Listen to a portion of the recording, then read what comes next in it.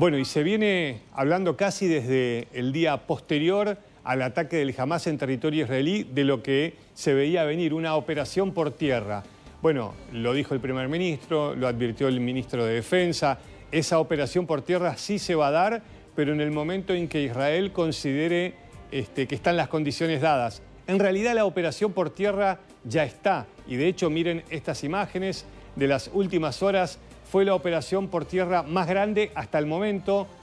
cámaras que permiten ver de noche para que veamos el operativo, estos tanques de ultimísima generación, uno de los más modernos del mundo, y los bulldozer,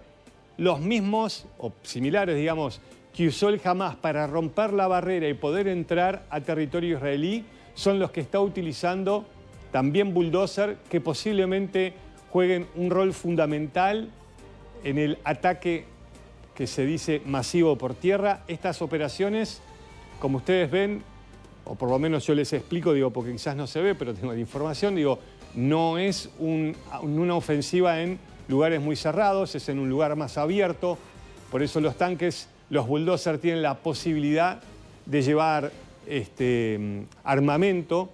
casi que se convierte en un tanque y obviamente es fundamental a la hora de abrir camino. Y ese tipo de tanques permiten en la parte trasera llevar por lo menos cuatro comandos que son los que van generando lo que se llama